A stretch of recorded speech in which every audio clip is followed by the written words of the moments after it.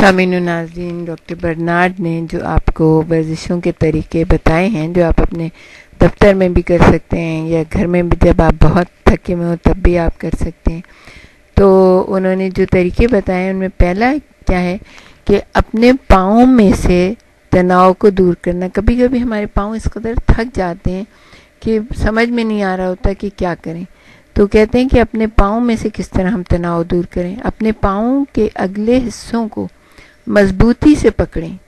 चंद second के बाद इनको यकदम छोड़ दें। चंद मिनट तक आराम करें, फिर इस वर्जिश को दोहराएँ। यानी बार बार कुछ देर के लिए जितने देर भी आप पाँव की वर्जिश करना चाहते हैं, अगर आप कुर्सी पे बैठे हुए हैं तो अपने पाँव को सीधा कर लें और उसके बाद आप उसको चंद सेकंड के लिए पकड़ें।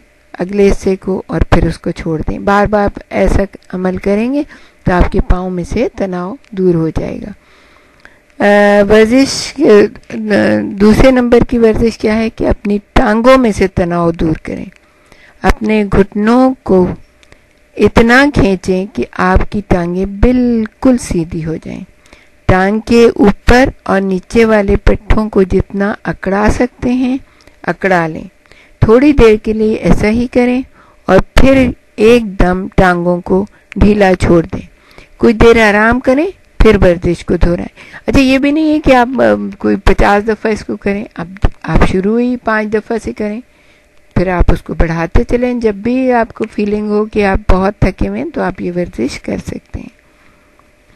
अब, कमर के नीचे तनाव को दूर करना। चंद सेकंड्स के लिए आप इस मकाम को जितनी ताकत से अकड़ा सकते हैं, अकड़ाएँ। फिर एकदम उसे छोड़ दें। थोड़े वक्फे के बाद इस वर्जिश को बार बार दोहराएँ तो आपके जो कमर से नीचे और टांगों का हिस्सा जो है ना, वो बिल्कुल नॉर्मल उसमें आ जाएगा। बाज़ दफ़ा ऐसा होता है कि बैठे कुर्सी पे बैठे बैठे इस कदर थक जाते हैं कि इसमें बिल्कुल ही तनाव महसूस होने लगता है।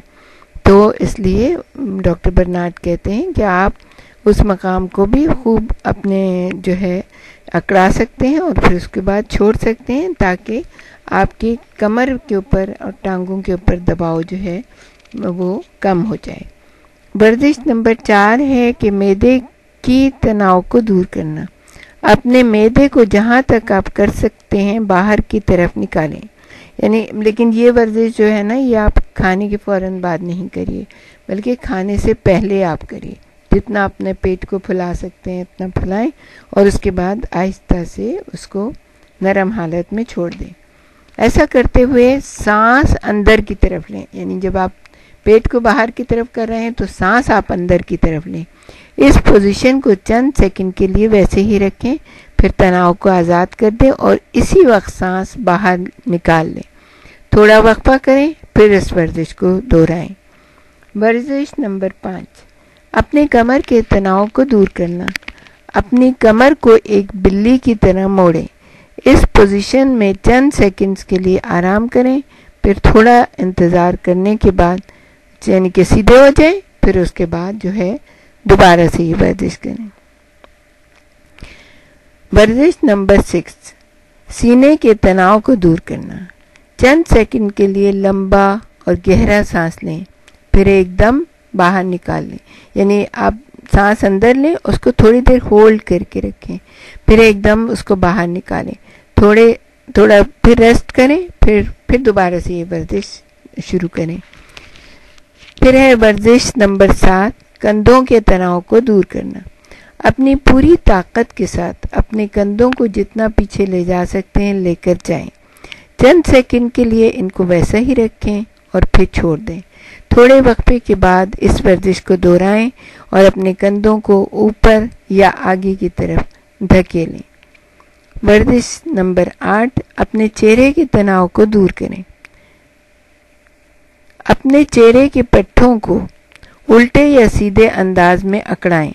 चंद सेकंड के लिए तनाव को ऐसा ही रखें, फिर पट्टों को अपने मकाम पर आने दें। जैसे कि आप दांत भीजते हैं बिल्कुल अकड़ा लेते हैं अपने आ, अपनी तेवरी पे बल डाल लेते हैं अपने ये गाल फुला लेते हैं मुख्तलिफ़ चेहरे के मुख्तलिफ़ उल्टा सीधा करके जिस तरह भी आप अपने पट्ठों को अकड़ाएँगे और उसके बाद उसको ढीला छोड़ दें।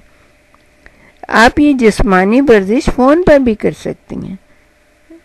वो ये डॉक्टर बर्नाड कहते हैं कि मैंने हाल ही में एक अमेरिकन रिसाले में दफ्तर में की जाने वाली वर्जिशों के मुताबादिल के बारे में पढ़ा है। ये वर्जिशें आपके इस वक्त के लिए तैयार की गई हैं, जो आप ज़ाया करते हैं। यानी जब आपने फ़ोन होल्ड किया होता है। हम दिन में औसतन पंद्रह मिनट इस पर खर्च करते हैं। अब ये तो डॉक्टर बर्नार्ड ने 1970 की बात की और वो ख़ुद तो फ़ोन करते ही नहीं थे किसी को। लेकिन हमारे तो हर वक्त हाथ में होता है सेल फ़ोन हमारी टेबल पे रखा होता है और हम जो है ना बार बार कोई मैसेज कर रहे होते हैं और अपना से सुन रहे होते हैं। कभी कुछ सुन रहे होते हैं, कभी व्हाट्सएप पे जा रहे होते हैं, कभी फेसबुक पे जा रहे होते हैं। तो हमारा तो बहुत ज़्यादा टाइम लगता है उसके अंदर। तो जब ऐसा कोई हो और आपको दफ्तर से मतलब ब्रेक भी हो थोड़ी सी तो आप ये कर सकते हैं कि साथ साथ वर्जिश भी करें और साथ साथ अपना फ़ोन भी चेक